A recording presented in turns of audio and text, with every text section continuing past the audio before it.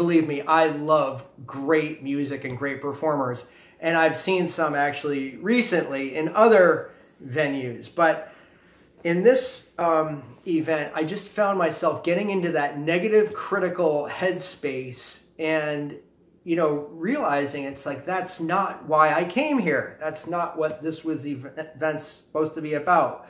So my first response is that I want to get up and bolt. Like at the first end of the first song or whatever, it's like, I want to discreetly grab my coat and leave. But what I'm trying to practice in life now is instead of doing that in those moments, of which we're allowed to do that, you know, as long as we're not being rude or inconsiderate, like in between songs and or intermissions and stuff, you always see people. I mean, actually, I did see some people get up and leave after the first number, but I said, no, I'm going to use this as an opportunity to just relax the chest, relax the neck, breathe, meditate, and just wait for something good to happen. But I was very in tune with that aspect of just being really critical and wondering why I wasn't finding my own center, my own sense of inner peace. Has that happened to you where you're really looking forward to something?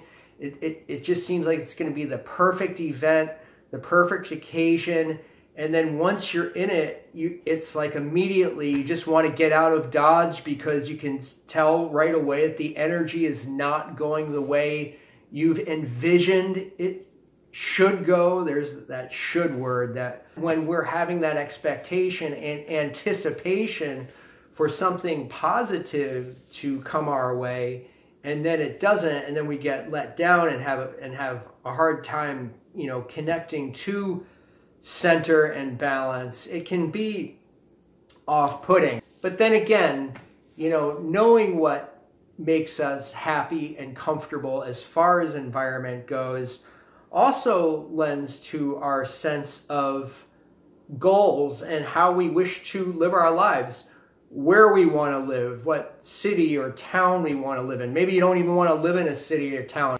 And it is a good exercise when things are not going exactly how we planned in that um, anticipatory expectation to just try to stay seated and just breathe and relax and go inward as good as possible, um, even despite the situation or the circumstances, which may not be ideal, because I think maybe it gives good practice for going into those meditative states when we are in an environment that's more conducive of really coming into that full relaxation because my critical mind was at work and my critical and negative uh, mind of let down expectations was kicking in.